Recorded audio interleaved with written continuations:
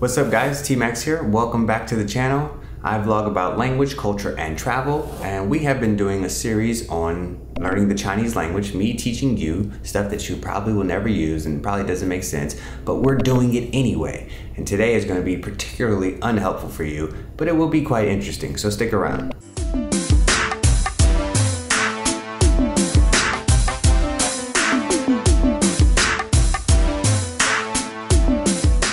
So remember all the things that I've been sharing so far are things that I found interesting or things that I thought would help me remember or learn the language better. And so today's is about logic.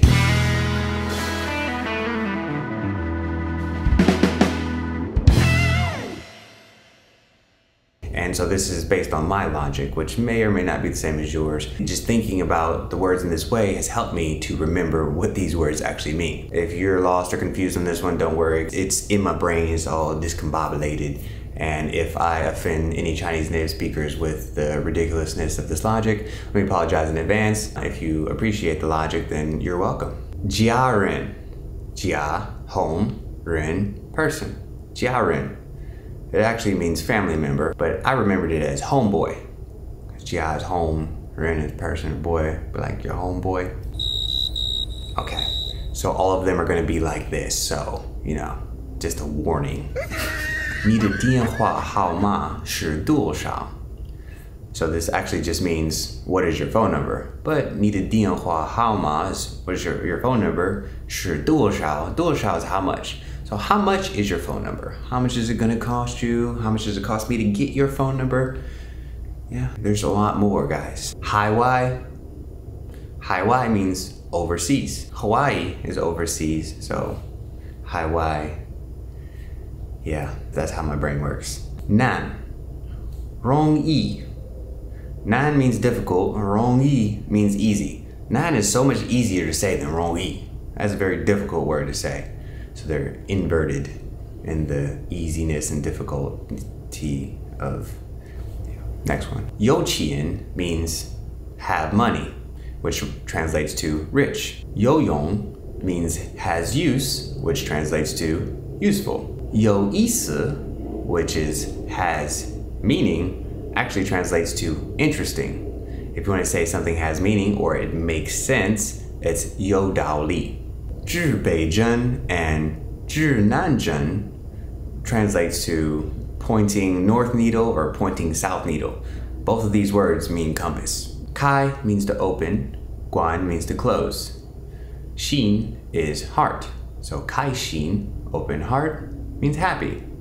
Guan Xin doesn't mean close heart or something like that. It actually means to care about.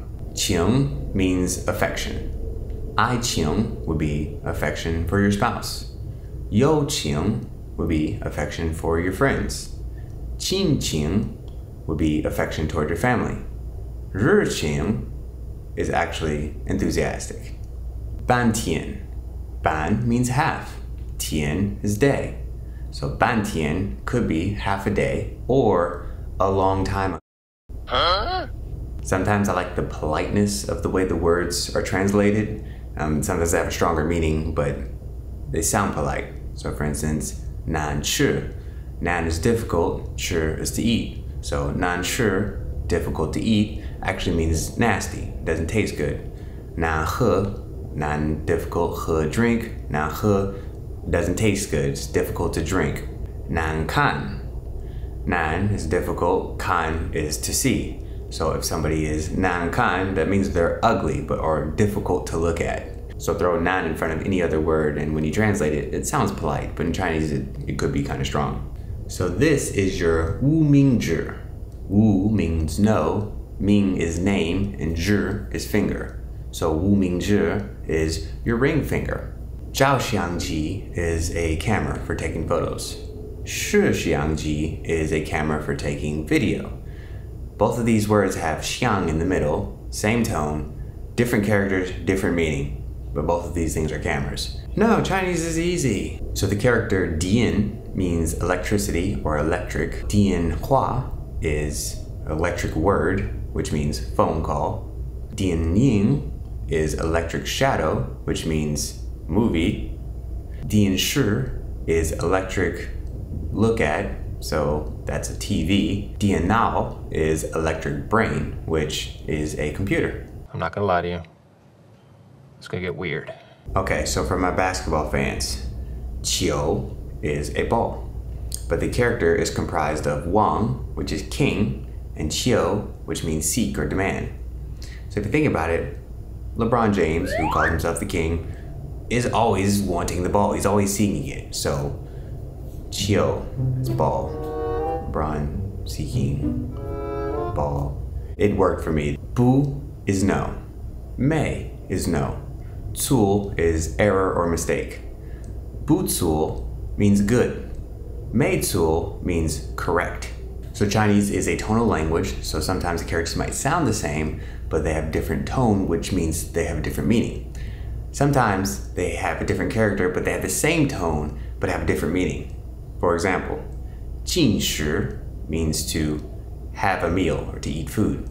Same exact pronunciation, 进食 also means to fast, which means to abstain from food. So you really have to be paying attention to context to get what they're talking about on that one. Xiong, bear. Mao, cat. Xiong Mao, panda. So how do you say bear cat? Xiong Li, which translates to bear raccoon. What? Mi Feng is honey bee. Feng Mi is bee honey. Try not to confuse those. Shu Tou. Shu is comb, tou is head. Shu Tou is to comb your hair. But Tou Fa is hair. So should it be Shu Tou Fa? It's not. It's Shu Tou. Okay, so I hope your brain is not hurting too much because mine is, and every time I review these, I'm like, oh yeah, okay, that's, uh, I'm weird. Anyway, please leave some comments below. Let me know what is your method for logic and, and when you're learning Chinese specifically. And if you have any other comments about the strangeness of my logic, feel free to share those, I don't mind. And remember to like, share, subscribe, and there are more lessons coming, so be prepared to not learn anything in the future. See you then. Edit, edit, edit. Hey Tim, what's up? Hey, just finishing up this week's video. Still making videos about your weird understanding of the Chinese language? Is the world's oldest known wheel in Ljubljana, Slovenia? Yes, the answer is yes. Do you wear that shirt every time you edit videos? Do you wear that shirt every time you come harass me?